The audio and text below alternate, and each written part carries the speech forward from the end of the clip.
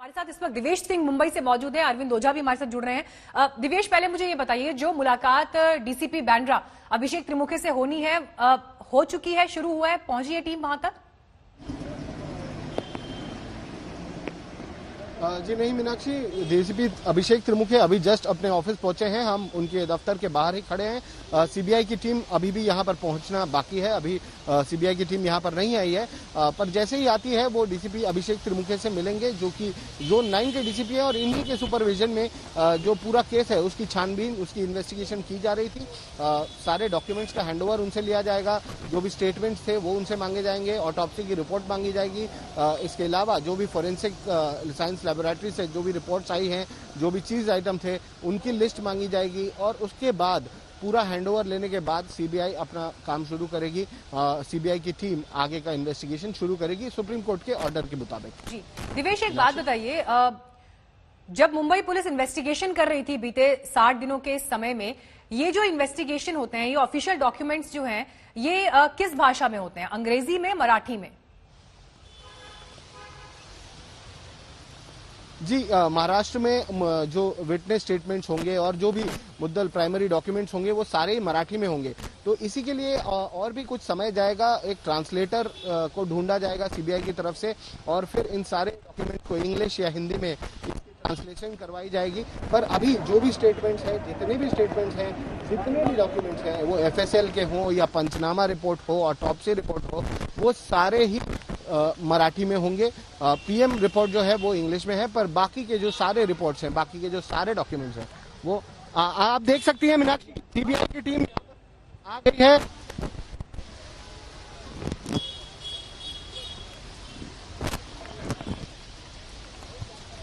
दादा दादा दादा दादा दादा बीच में नहीं है मीनाक्षी आपको बता रहे हैं ये देखिए ये सीबीआई की टीम है जो यहाँ पर दाखिल हो रही है।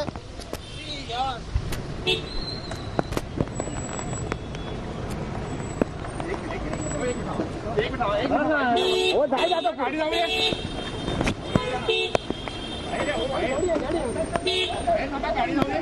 मीनाक्षी आपको दिखा रहे हैं सीबीआई की जो टीम है जो डीसीपी त्रिपुके से मिलने के लिए पहुँचने वाली है यही वो अफसर है। Sir sir sir sir sir sir sir. Sir sir.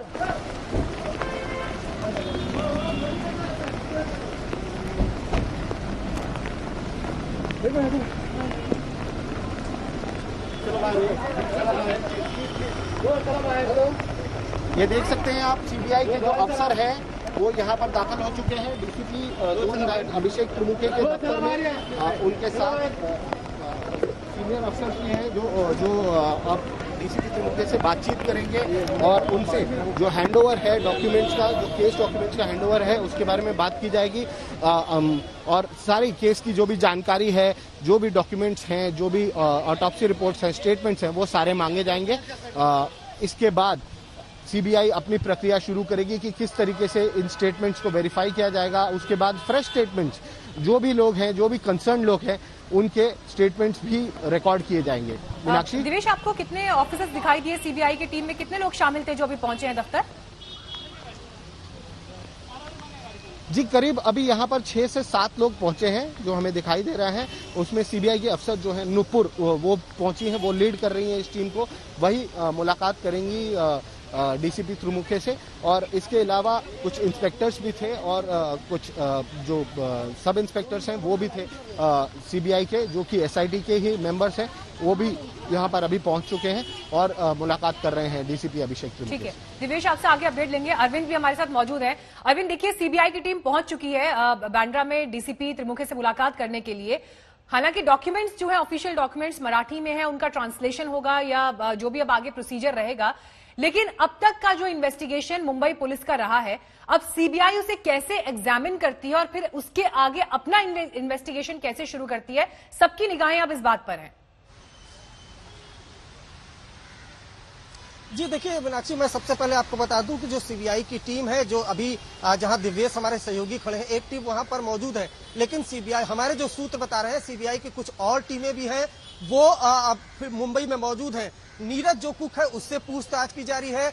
हमें जो जानकारी मिली है कि जो सुशांत जिसका जिसमें बैंक अकाउंट था, उस बैंक उस बैंक के कर्मियों से पूछताछ की जाएगी। जैसा कि आपने सवाल पूछा, मैं आपको बता दूँ, सीबीआई जो मुंबई पुलिस ने अब तक की जितनी तहकीकात की है चाहे वो पोस्टमार्टम रिपोर्ट हो चाहे लोगों से पूछताछ हो, खासकर उनसे पूछताछ, जहाँ बांद्रा के फ्लैट में सुशांत की जो बॉडी है वो पंखे से लटकी मिली थी, उन किरदारों से जो उस वक्त घर में मौजूद थे, चाहे सिद्धार्थ पिठानी हो, चाहे नीरज कुक हो, चाबी वाला हो, जिसको बुलाया गया था, जैसा सिद्धार्थ पिठानी ने दावा किया, उन पर ज़्यादा फोकस रहेगा। और शायद यही वजह है कि शुरुआत सीबीआई की टीम ने कर दी है, गेस्ट हाउस में जो नीरज कुक है, उससे पूछताछ करेगी लेकिन मीनाक्षी, मैं बता दूँ, सीबीआई पूरी तरीके से नए सिरे से इस पूरे केस को देखेगी। ऐसा नहीं है कि पहले अब मुंबई पुलिस ने जो जाँच कर दी है उसी आधार पर चलेगी। बिल्कुल जो मुंबई पुलिस ने एग्जामिन किया है आ, उसको और जो तमाम केस डायरी उसको ज़रूर लेगी।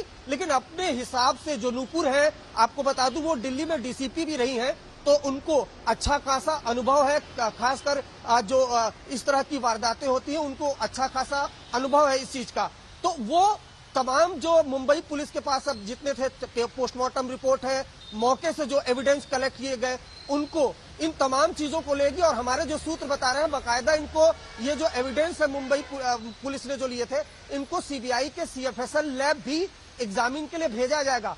भारी भरकम टीम एक्सपर्ट की फॉरेंसिक एक्सपर्ट की, वो फ़िलहाल मौजूद है, लेकिन इसके साथ साथ जो लगातार पूछताछ है वो भी शुरू हो गई है। उसके अलावा डीसीपी से भी मुलाकात होगी जो इस पूरे केस को देख रहे थे। उसके अलावा उस डीसीपी से भी ज़रूर पूछताछ होगी जो हमारे सीबीआई के सूत्र बता रहे हैं जिनसे रिया ने व्हाट्सएप पर बात की थी। इस बात का खुलासा हुआ था। तो शुरुआत सीबीआई एक्शन मोड में आई चुकी है। कल लैंड की थी मुंबई में। लेकिन आज से ही आ, पूरे एक्शन में वो सीबीआई की टीम है क्योंकि जिस तरीके से ये केस है आ, हर कोई जानना चाहता है कि इस केस का सच क्या है। क्या ये हत्या है या आत्महत्या है? उस पर, उस कड़ी पर अब सीबीआई लग गई है। जो तमाम एविडेंस थे, मुंबई पुलिस ने जो जुटाए थे, उनको नए सिरे से एग्जामिन किया जाएगा। नमस्कार, मैं हूँ अंजना ओम कश्यप हमें उम्मीद है ये वीडियो आपको पसंद आया होगा।